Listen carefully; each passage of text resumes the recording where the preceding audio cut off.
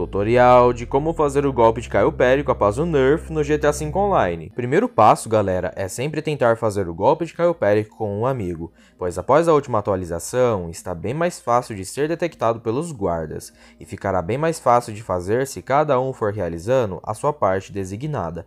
Por exemplo, enquanto um vai pegar o objetivo principal, o outro vai matando os guardas necessários e indo até o escritório para pegar os cartões de acesso. Segundo passo é sempre eliminar o Juggernaut, pois os guardas agora estão detectando os corpos dos guardas anteriores, e como ele fica andando pela mansão, não podemos arriscar. E para eliminá-lo é bem simples, venha por detrás dele e atire sem parar na cabeça. O único arsenal que está sendo capaz disso é o agressor, que tem a escopeta de combate, que consegue eliminá-lo rapidamente sem detectar. Terceiro passo é que quando for pegar o objetivo principal, você ou seu amigo fiquem na parte de cima da mansão para evitar que novos guardas spawnem no lugar dos anteriores pois tivemos muitos relatos de jogadores que ao pegar o objetivo principal, o golpe teve um reboot e spawnou novos guardas que detectaram os anteriores, e para tentar evitar isso, alguém tem que ficar esperando na parte de cima. Não é certeza que vá funcionar, mas vale a pena tentar. O quarto passo é você escolher a melhor rota para fazer o golpe, e nesse caso temos duas.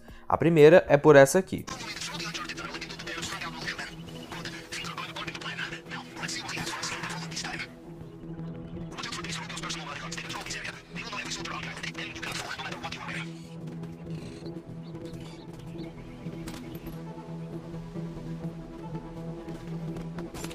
A segunda é matar apenas alguns NPCs necessários, que não irão estar na rota do Juggernaut. O problema é que agora os guardas conseguem te enxergar mais facilmente através das janelas, quando você for pegar os espólios.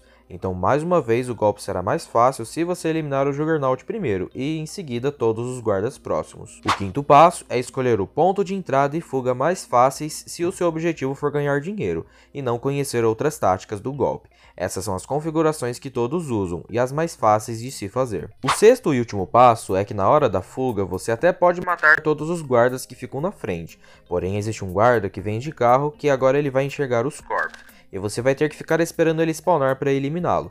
Ele vem daqui também, mas ele vai te enxergar através das caixas. É só ficar um pouco mais para a direita, e assim será bem mais fácil de completar o golpe de Caio Périco. Se você gostou desse vídeo e não quer perder as próximas atualizações, eu já peço que você, por favor, inscreva-se no canal, para ficar por dentro de tudo, além de fortalecer demais o nosso trabalho, beleza? Fique com os outros vídeos do canal também, onde trouxemos outras novidades. Eu vejo vocês no próximo vídeo e falou!